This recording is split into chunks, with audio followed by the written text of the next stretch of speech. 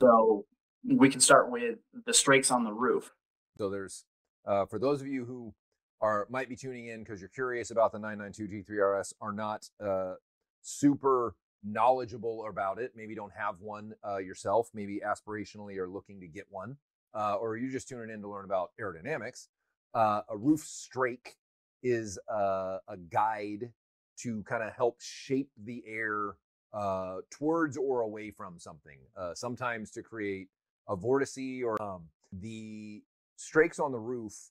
Uh, there's a misnomer with the GT3 RS, and I don't know if this was subterfuge on Porsche's part or they're trying to make the car look smaller cross sectionally. Typically, when you see fins strakes on the top of the trailing edge of the roof right in front of the rear window, those are vortex generators. That's not what these are. Uh, they look similar, but that is not what they are.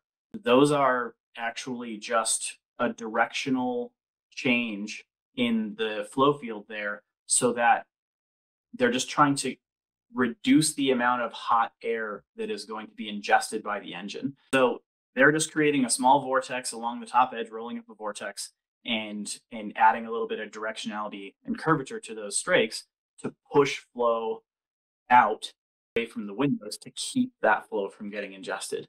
But you know, at 160 miles an hour or whatever this car goes, it's not a small thing. At 100 miles an hour, it's not a small thing. Really, we only see this kind of stuff in, in Formula One and then and then here.